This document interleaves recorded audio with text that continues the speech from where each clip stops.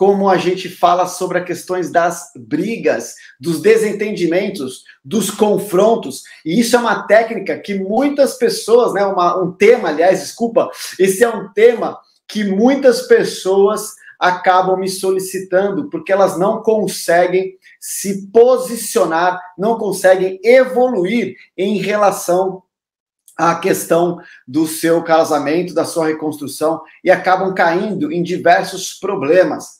Então, pessoal, sejam todos muito bem-vindos e a pergunta já começa a ficar aqui enquanto eu faço uma abertura para vocês, que é o seguinte: quem aqui, durante o processo de reconstrução, ou quando acaba encontrando a pessoa, acaba tendo conflitos, acaba tendo problemas com a pessoa e dá uma sensação de que, cara, voar no pescoço da pessoa, ou ela parece que está sempre querendo provocar você e tirar você da situação, tirar você do eixo e deixar você completamente é, sem controle. E você acaba se distanciando ainda mais do processo.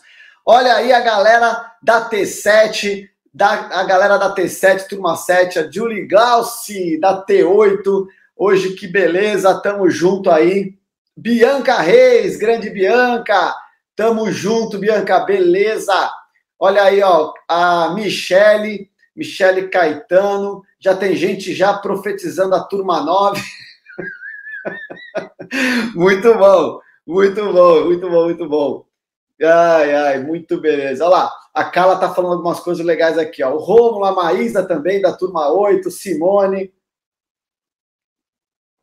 Flávia Matarazzo, da turma 8, a Glória, turma 7. Que espetáculo! Que espetáculo! Então, pessoal, essa turma que tá aí, né, já, tá, já caiu para dentro lá para tocar o terror. A Delaine da turma 6, mas mesmo assim tá aqui ainda, porque os guardiões é tudo faca na caveira, é ou não é? Olha lá, Fernanda também. Pessoal, olha aí, ó. Tem uma pessoa que tá gritando aqui, ó, Mari, a Mari e Mila. Mari, voltamos. Se você voltou, queremos saber, é, queremos saber quanto tempo você ficou separada, beleza? Quanto tempo você ficou separada? Para que a gente possa fazer a nossa festa aqui, fazer uma bagunça geral na parada aí, ó. Sim ou não? Vamos ver aqui, ó. Quem mais? Deixa eu ver se tem mais alguém. Tem mais alguém que voltou aí, pessoal? Já aproveita para a gente fazer uma festa de arromba aqui. A gente já começa nosso conteúdo tocando terror. E aí tem uma galera que tá vendo às vezes a gravação e fica nervosa comigo. Fala assim: Nossa senhora, enrola. Não enrola, pessoal. Eu faço aqui o acolhimento da turma que tá com a gente, né? A Bianca. A Bian... Bianca? A Bianca Reis voltou? A Bianca é do método lá, Bianca. Bianca, fala pra gente. A Sandra.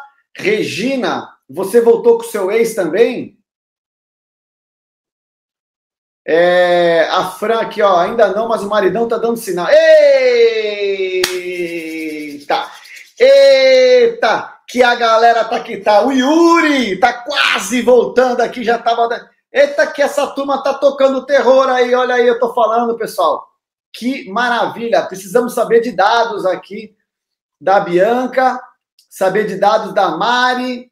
Cadê aqui? A Bianca estava escrevendo aqui, eu perdi ela aqui, pessoal. Ah, tá vendo? A Bianca não. A Bianca falou que não. Mas está em paz, está no, tá na, tá na, no caminho.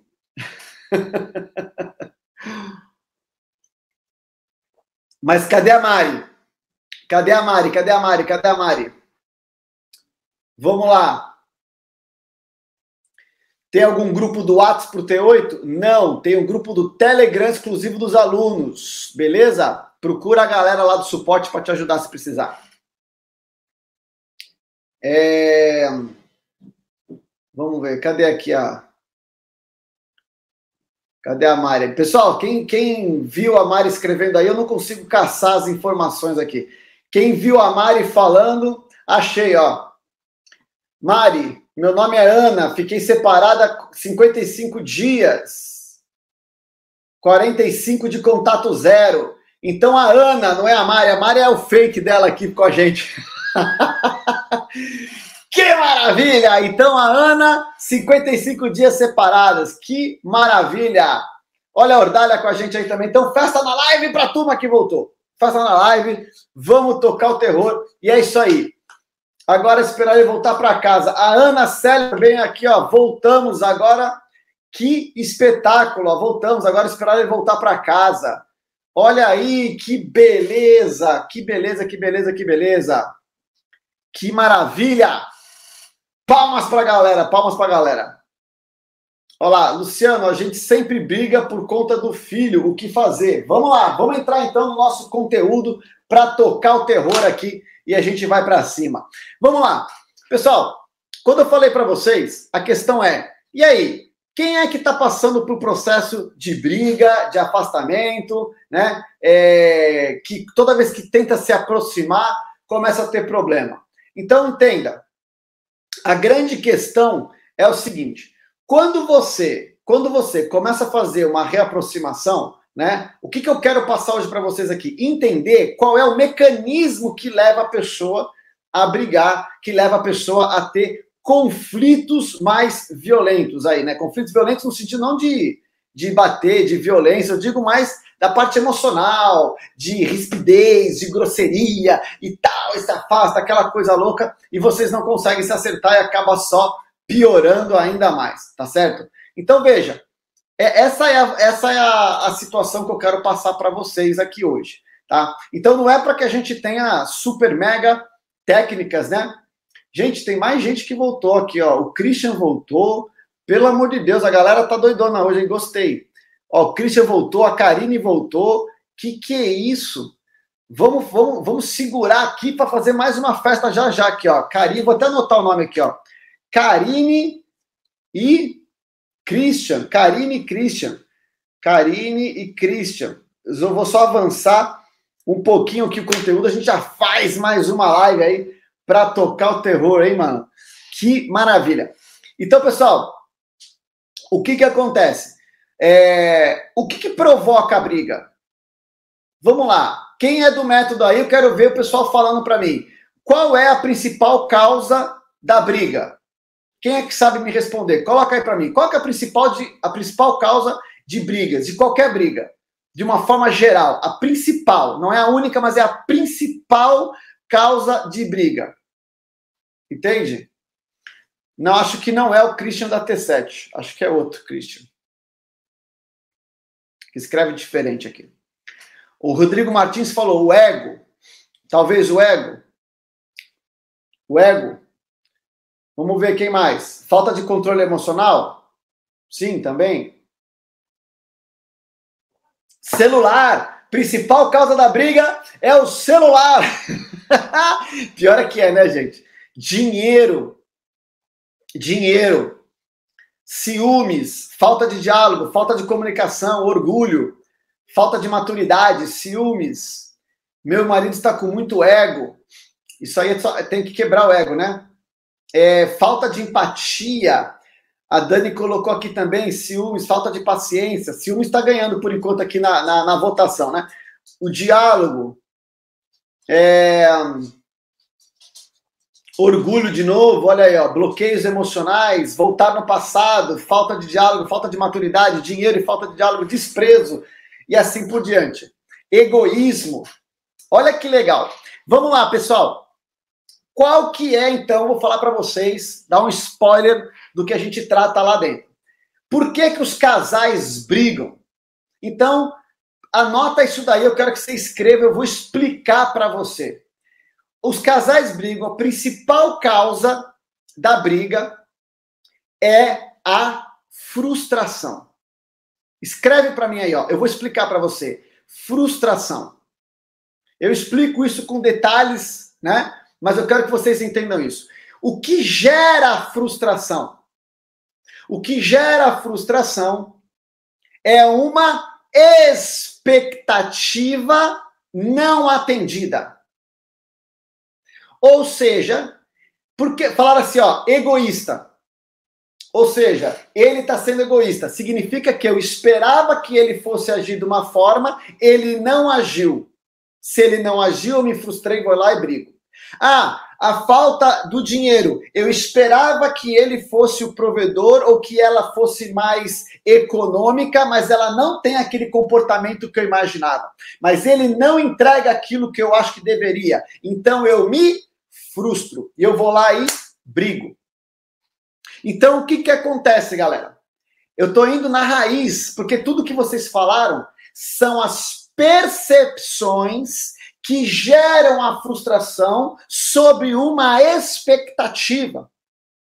Uma das coisas que você briga hoje, por exemplo, com o seu ex ou com a sua ex durante a reconstrução, é porque você tem uma expectativa que ele agisse de uma forma, que ele fosse mais carinhoso, que ele te entregasse alguma coisa, que ele entrasse em comunicação, certo? Ele entrasse em contato que ele não agisse dessa forma do quente e frio.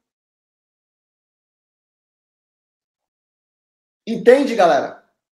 Quando você cria essa expectativa e ela não é atendida, você se frustra. A frustração, então vamos colocar aí, ó. Os casais brigam porque estão frustrados, ou um, ou outro, ou ambos. Beleza? Então coloca aí.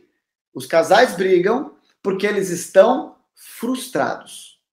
A frustração, ela é a consequência de altas expectativas. Isso quer dizer que eu não quero esperar nada ou não posso esperar nada? Mas uma coisa eu vou falar para você.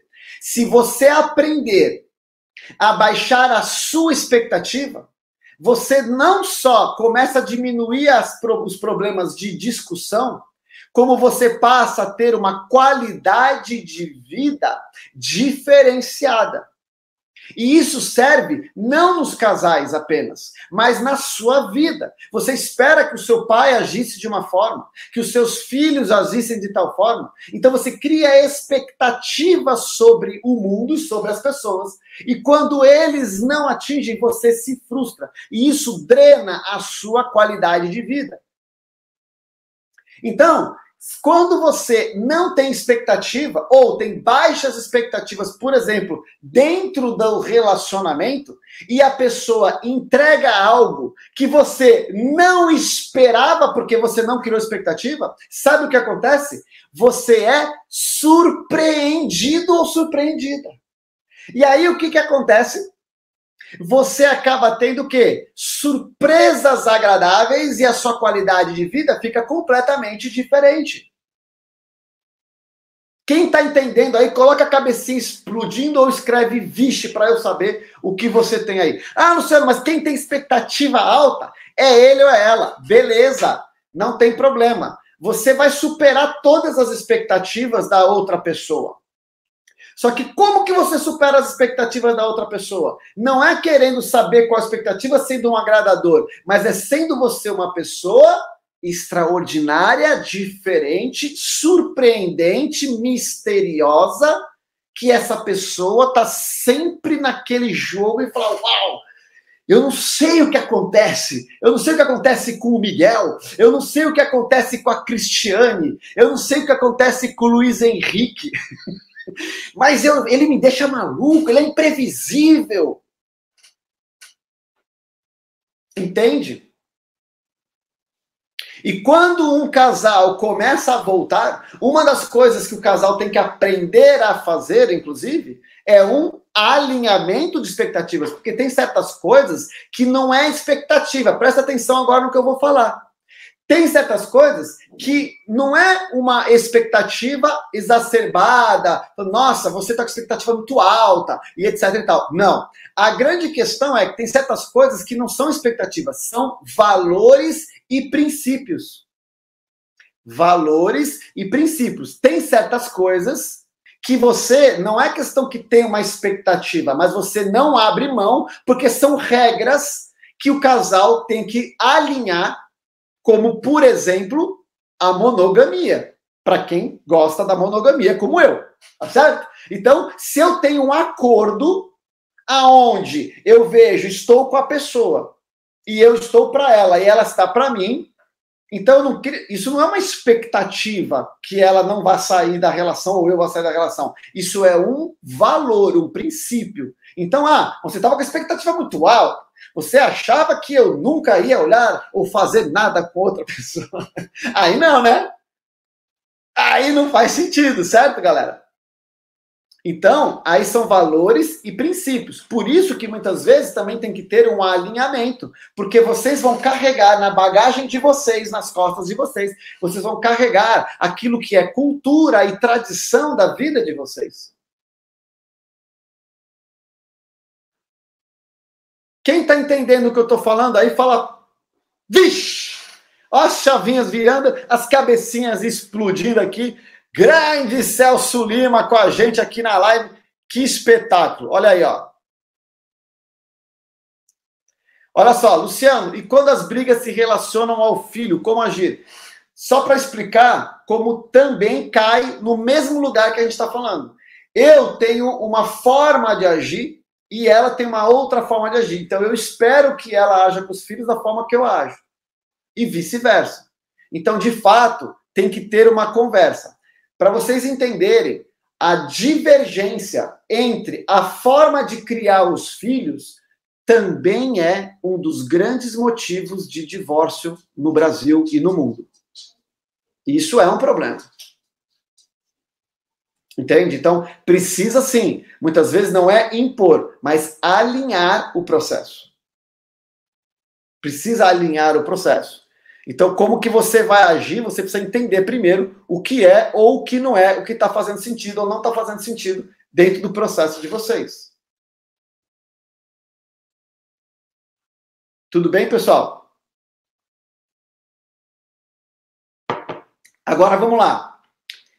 Qual que é a grande situação aonde você tem problema na questão da briga? Porque eu tenho expectativas altas. Agora, qual que é a origem da expectativa? Qual que é a origem da expectativa? A origem da expectativa é que você acaba tendo um, aquela história aí vai entrar um pouco dos vícios e das crenças. Como que eu consigo baixar a minha expectativa? Quando você passa a ter gestão emocional. Tudo vai cair no emocional. Porque se você foi doutrinado. Quando você foi doutrinado ou doutrinada pela sua família, seus pais, seus irmãos, você, por exemplo, teve uma família, meus pais foram maravilhosos. Nossa, minha mãe fazia de tudo para mim. Putz, que droga, cara, ela não devia ter feito isso. Não, mas, pô, Luciano, você, a gente não pode falar mal da minha mãe, minha mãe foi incrível, a minha também. Só que entenda que, por exemplo, a superproteção que é algo de. A gente até entende que é excesso de amor, a gente fala que é desamor. Não é que a pessoa não ame. Não é isso. Mas a superproteção cria fragilidade e fraturas emocionais e faz essa pessoa, por exemplo, criar altíssimas expectativas do mundo e das pessoas.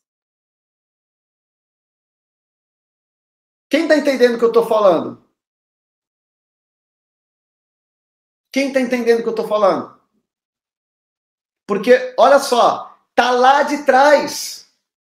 Tá lá atrás. É por isso que eu tenho sim que lidar com o meu aprendizado com os meus pais. Quero reconstruir meu casamento. Cara, para de olhar para o seu cônjuge. Você tem que olhar para a sua estrutura, para os seus vícios, para as suas crenças. É muito mais profundo, mas eu entendo perfeitamente que é o nosso, a nossa dor. Eu entendo perfeitamente. Teve um caso, quem estava aqui na live um dia, até a minha equipe que estava na live comentou lá na nossa reunião. Teve uma pessoa, eu quero que você venha comigo agora, pegue na minha mão. E eu quero acolher, inclusive, você que vai falar a mesma coisa que essa pessoa falou. E eu falei, gente, quem é que quer ter a liberdade de poder ser feliz? Sabe o que a pessoa falou? a pessoa virou e falou assim: ó, eu não quero ser feliz, eu quero ter meu marido de volta. O que, que significa isso? Não é para julgar. Aqui ninguém tem o direito de julgar. Ninguém vai tacar uma pedra aqui. Só que entenda a leitura disso. A dor é tamanha que ela faz qualquer coisa para sanar a dor emocional. O que, que isso significa? Ela não consegue enxergar qual é a principal chave que tem que virar para ela ter a pessoa que ela tanto quer. Então ela fala: Eu não quero ser feliz, eu quero meu marido de volta. Mas qual que é a tradução disso?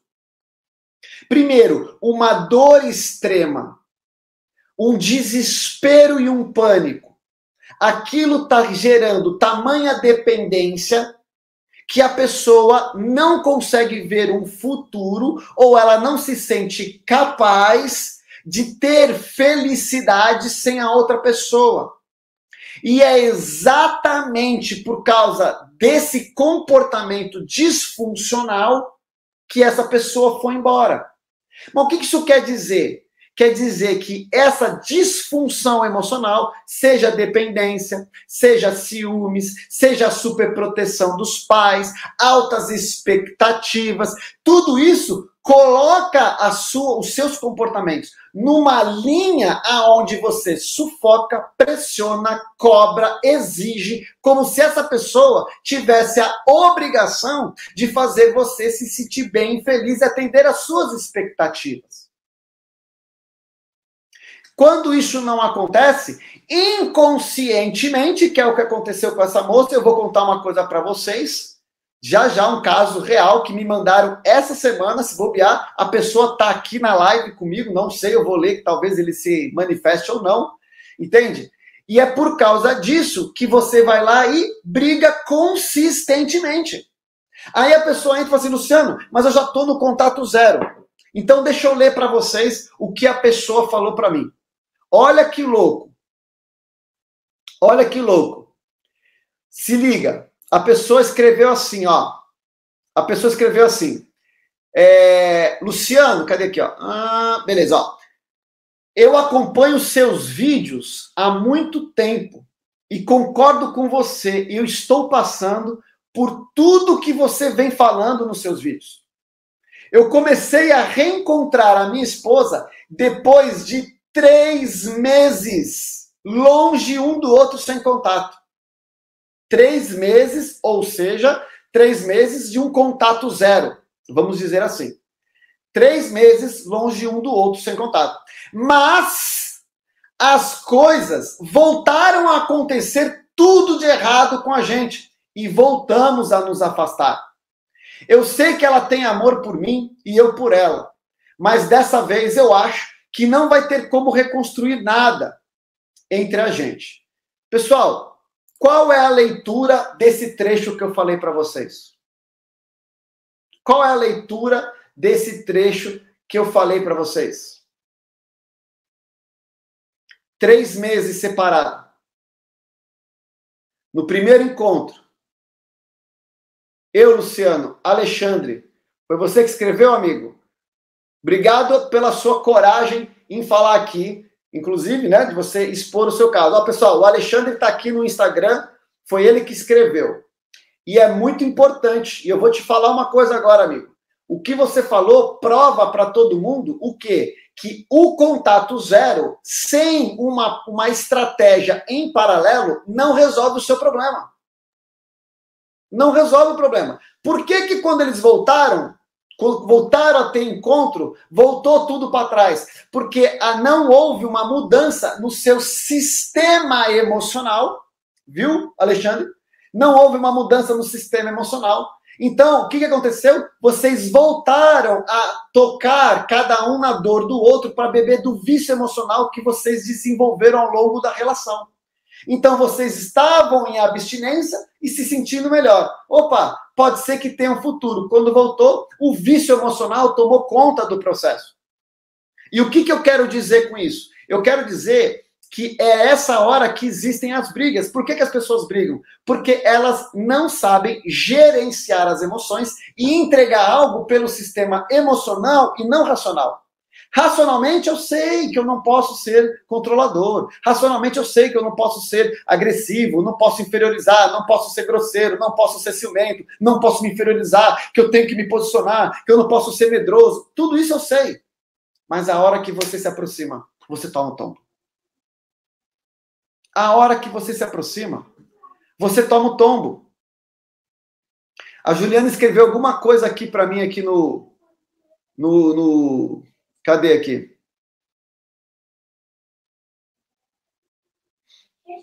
Foi a Juliana que falou? Não sei se foi a Juliana.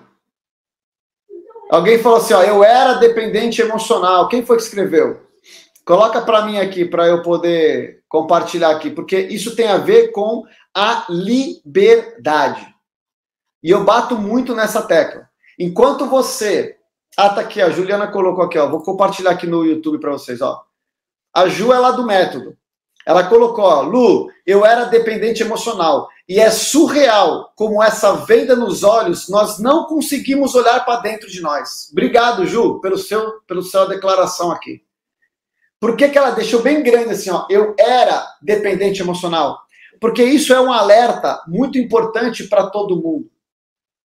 As pessoas não são dependentes emocionais porque elas querem. As pessoas não são ciumentas porque elas querem. As pessoas não são controladoras porque elas querem. Elas têm vícios, elas são viciadas em serem assim porque desenvolveu uma necessidade. Entende? E aí, esse é uma situação aonde a gente tem que começar a ter controle do nosso estado emocional para poder reverter essa situação. O que, que, são as brigas? É descontrole emocional. Não adianta nada você fazer contato zero e voltar para ser mais do mesmo. Escreve aí, ó. Não posso ser mais do mesmo. E para isso eu tenho que fazer uma transformação. E não é no cabelo, Entende? Não é no inglês. Eu sempre brinco com isso, né? Luciano, voltei a fazer inglês, pintei o cabelo, aparei a barba, tirei a barba, agora total. Isso é importante? É claro que é. Porque isso vai dar um choque assim, opa, quem se cuida externamente já chama atenção, positivo. Mas não foi isso exatamente que travou o seu casamento. Não foi isso exatamente que travou o seu processo. Então entenda, eu não posso ser mais do mesmo. Você tem que ter essa consciência, essa obsessão. E quando eu falo essa transformação e peço para vocês é, é, interagirem comigo aqui, às vezes eu estou falando, até eu criei, criei um Reels, não, né? A minha equipe criou um Reels lá, eu coloco assim, ó, hora do chicote. Quem viu esse Reels lá? Que eu fiz uma brincadeira. Porque eu estou falando, falando, falando, e as pessoas estão procurando as respostas no chat um com os outros, como se fosse um bate-papo, ao invés de prestar atenção e absorver o que eu estou falando com muita profundidade. Mas eu sei que é difícil. Eu sei que é muito difícil. E tem? Então, pessoal, olá, a Marinilda também, ó. Eu também era dependente emocional. A Marta, o Tesson falou, ó, entrei no método e me libertei. Tá vendo, pessoal? Então, esse é o ponto, essa é a, a, a virada de chave que vocês têm que ter. A Alessandra Rocha, Alessandro, desculpa, o Alessandro Rocha colocou como transformar por completo, Luciano. Então, Alessandro, esse é o grande lance que eu sou obcecado para trazer aqui para vocês. A transformação, ela passa por um passo a passo aonde você vai o quê? criando novas sinapses, novos caminhos neurais, tá certo? Para que o seu sistema nervoso comece a agir por você sem você fazer força. Isso é um trabalho, gente. Vocês vão ter que fazer um trabalho. Entendam isso. Não é fácil. Não é, não é pílula mágica. Cara, você quer ser gerente de uma empresa? Entende? Você quer crescer, você vai ter que fazer um MBA, você vai ter que aprender liderança. Só que as pessoas querem ter mais dinheiro, melhorar o casamento, não lê um livro. Quem aqui leu nos últimos 12 meses pelo menos dois ou três livros que te ajudam a ser uma pessoa com outro olhar, uma nova, uma nova percepção de, de otimismo, a conhecer personalidades? Quando foi a última vez que você investiu em você para ser uma pessoa melhor? Um ser humano evoluído. Entende? Que vai atrás profundamente de saber mexer com a estrutura emocional. Isso é muito importante. E fazer disso uma obsessão. Porque a carreira, a carreira profissional, a gente entende, porque a gente fala assim, pô, eu vou ganhar mais dinheiro. Deixa eu falar uma coisa para você. O dinheiro, ele é incrivelmente bom. Ele é maravilhoso. A gente não pode ter tabu de falar de dinheiro, a gente tem que crescer. Só que lembre-se, escreve para mim, ó, eu sou um ser sistêmico. Por que, que muitas pessoas alcançam o resultado financeiro e acabam e acabam por tirar a própria vida? Por que, que o Robbie Williams fez? Ele, ele falou assim: ó, eu queria ganhar um Oscar, eu quero ganhar um Oscar de comediante. Ele ganhou. Falou, mas não quero mais ser só reconhecido como um comediante. Eu quero também ser reconhecido como um ator de drama. Ele ganhou Oscar de drama. Ele fez milhões rirem. Ele fez milhões chorarem. Ele ganhou fama. Ele ganhou dinheiro. E ele não conseguiu encontrar uma outra parte, da parte sistêmica. Isso não quer dizer que o dinheiro não ajude. Mas o que eu quero dizer? É o equilíbrio. O equilíbrio, a parte da harmonia entre as áreas por você ser um ser sistêmico, você acaba não olhando para as necessidades humanas, que são as mais importantes. E duas delas que mais matam as pessoas de não conseguir entender o processo são as duas necessidades que a gente chama de necessidades humanas da alma. Eu já falei aqui para vocês. Quais são? A primeira é a evolução. Quem não está evoluindo está morrendo. Escreve aí para mim. Quem não evolui morre. Tudo no universo está evoluindo. A única coisa que parece que não, que não evolui por escolha é o ser humano. Então, ó, a evolução, o senso de evolução. E o segundo, o senso do servir, do compartilhar, do entregar para outras pessoas. Nós fomos feitos para servir aos outros. Então eu tenho que estar tá evoluindo e o quê? Na contribuição, evolução e contribuição.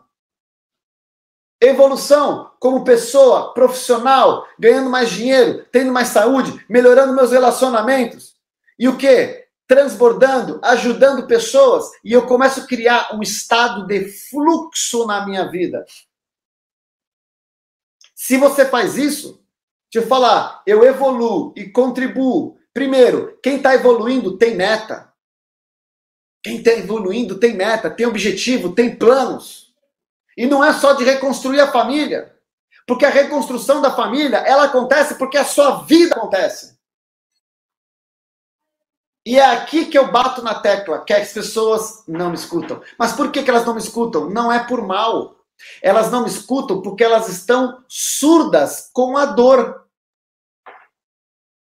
surdas com a dor. E é nessa hora que eu preciso devagar e tirando essa esse tampão do ouvido e falar assim: "Olha, você quer sair daí? Se você quer sair daí, você vai ter que fazer uma coisa que você não está muito afim. Você vai ter que enfrentar coisas que você não está muito afim. Só que é por isso que você tem que ter a sua visão de futuro. A sua visão de futuro. E aí você quebra os padrões e eu falo para você, aquilo que parece impossível hoje, você vai trazer de volta. Essa pessoa que você fala hoje que é impossível. Várias pessoas, inclusive, deram testemunhos novos que a gente colocou até agora na, na jornada. Luciano, eu achava que era impossível, mesmo não acreditando, mesmo não tendo vontade, mesmo cansada. Eu acordava quatro horas da manhã e eu ia lá e mentalizava que eu ia ser chamada, que eu ia ser, voltar com meu marido. E hoje ele me agradece de eu não ter desistido dele. Quando eu estou. Essa, essa, essa fala dela sempre me emociona. Ela fala assim, Luciano, quando nós estamos sentados no sofá vendo um filme, juntos porque eles voltaram. Inclusive, ele pediu ela em casamento de novo, que foi uma das mentalizações dela. Falou assim: Eu vou ser pedido em casamento de novo pelo meu marido. E ela voltou.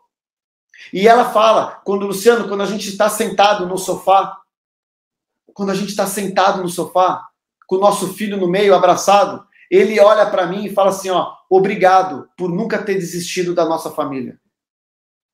Eu fico até arrepiado de falar. E para ela também era impossível. Para ela também não era mais Sabe, não tinha chance. Para ela, ele também estava falando que não dava mais. Quem é você? Para de acreditar no que os nossos olhos de dúvida, do que nossos olhos, o que não é capaz, estão dominando a sua alma. Estão dominando a sua alma. Comece a olhar com os olhos do coração, com os olhos da fé.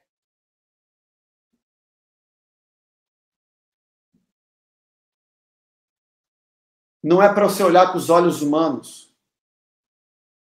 Vai além vocês também vão conseguir. Só que nesse momento, vocês têm que olhar para vocês. Tem que olhar para vocês. Eu fico coração penalizado. Eu fico coração penalizado. Eu fico realmente muito emocionado. Eu fico muito emocionado com vocês aqui. Porque eu recebo todos os dias pessoas em altíssimo sofrimento, em altíssima dor. E não precisa ser assim. Vocês podem sair da onde vocês estão. Mas vocês vão precisar tomar uma decisão. Vocês vão precisar acreditar no coração. Vocês vão precisar acreditar em Deus. Você não está passando pelo que você está passando à toa. Se você não aprender com tudo que você está passando de dor, não valeu de nada o que você está passando.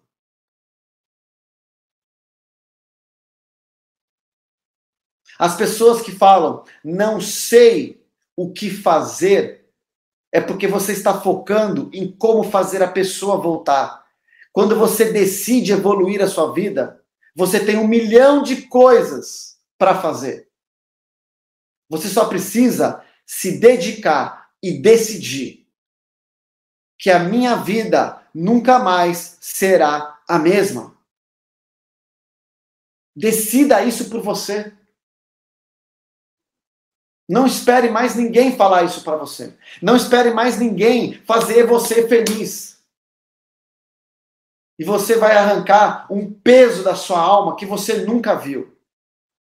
E você vai atrair coisas que você nunca imaginou. E viver situações que você nunca viveu. Quer ser amado, ama como você nunca amou. Quer ser respeitado, respeite como você nunca respeitou. De novo, não espere expectativa te pode te frustrar. Quando você decide entregar, ninguém pode te impedir.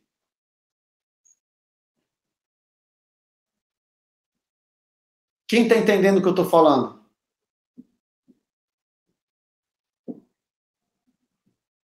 Então respira fundo comigo e pega isso agora. Todos os dias, pessoal, todos os dias que eu venho falar com vocês sem exceção. Eu faço uma oração antes. Eu faço uma oração e eu peço, eu peço de coração. É, eu peço de coração para Deus me usar como um instrumento do jeito que Ele quiser para tocar no coração de quem estiver aqui e precisar escutar alguma coisa. Tem vezes que eu não sei nem de onde vem o que eu falo. Aliás, eu sei, mas eu preciso falar. E se, se isso tocou você, é porque você precisava escutar. Você precisa escutar. O que eu faço dentro lá do método, etc e tal, é um método que de fato é começo, meio e fim. Vai ser fácil? Não vai ser fácil. Vai ter lágrimas? Muitas lágrimas. Vai ter arrependimento? Vai ter arrependimento. Vai ter dor? Vai. Mas vai ser tudo para transformar. Vai ser tudo para transformar.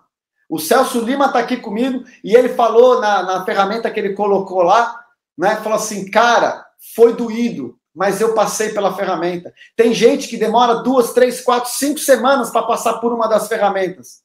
Por quê? Porque você vai ter que mexer com os esqueletos que estão lá. Você vai ter que mexer. Por quê? A tua vida está travada porque você não se perdoa.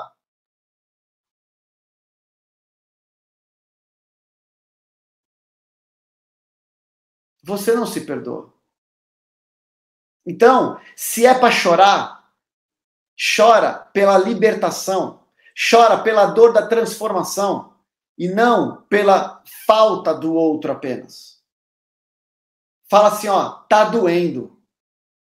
Tá doendo, mas eu vou continuar. É aquela dor que você chora, mas chora porque você está evoluindo. Porque você está evoluindo. Quem está entendendo o que eu estou falando, pessoal? Olha lá, a Ju, a, Ju, Ju tá sempre com a gente também, né? Olha lá, você já falou isso em outro vídeo, Lu, e acho isso incrível, porque eu falei que eu sempre faço oração antes de vir para cá, e eu faço questão de dizer isso para vocês. Eu oro por vocês. É, é, meu jeito de ser, não importa. E não estou querendo fazer propaganda aqui, não, tá? Não preciso disso, não. Falo de coração mesmo, porque eu considero todos os guardiões a família nossa aqui. Entende? Todas as guardiões, a família nossa aqui. Então a gente tem que orar pela nossa família. E se Deus quiser, vocês vão ser repercussão, vocês vão ser capilaridade de transformação, vão ser inspiração para outras pessoas. Para que vocês possam também desbloquear através do desbloqueio de vocês. Beleza, galera? Então, pessoal, por que, que a gente briga? Por causa disso. Porque a gente não é forte emocional ainda. Quando você sabe quem você é, você não entra em briga. Você tem compaixão com outra pessoa. Porque no final das contas, você sabe que aquela confusão que a pessoa está criando é um inferno astral e emocional dentro da pessoa. Ela não sabe como, como trabalhar aquela situação. E você não pega mais para você. Entende, pessoal? De coração. E lembre-se, é, alguém falou aqui dos filhos, né? Cadê? Ó? O que está pesando é sobre filhos, Lu. E é verdade. Eu entendo você. Eles vão pagar, infelizmente, infelizmente, muitos falam, né? Falam, ah, às vezes é melhor separado do que o casal brigando. Sim, na verdade, o que as pessoas calculam não é que é melhor. Eu vou ser muito honesto pra, falando para vocês aqui. Quando a pessoa fala isso, é o seguinte, ó, qual é o menor prejuízo para as crianças? Porque prejuízo vai ter sempre na separação no divórcio. O que as pessoas calculam é o menor prejuízo. Falar assim, ó, é muito melhor que fique separado do que o casal brigando e se agredindo dentro de casa. Eu falo, beleza, não é melhor, é menos pior. Desculpa falar, não existe benefício. E só existe prejuízo. O que se calcula é o menor prejuízo e não o benefício. Não existe benefício em separação e divórcio.